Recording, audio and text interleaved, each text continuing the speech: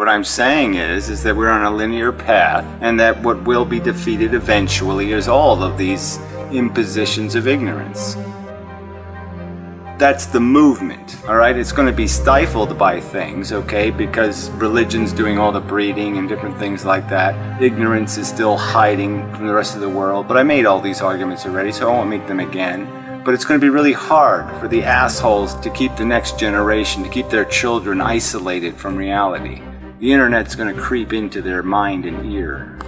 Having reared its head. I mean, the very word progress is itself suspect quote Paul Feyerabend, entire cultures have been killed, their immune systems destroyed, their knowledge turned into a scarcity, and all that in the name of progress. Inmendham proceeds as if a godless theist to knock Jesus from his throne and declare the internet the new messiah.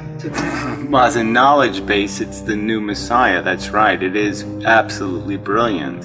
It allows for even more social progress. It allows for the exchange of ideas in ways that just weren't possible in the past. I mean, it's fucking brilliant.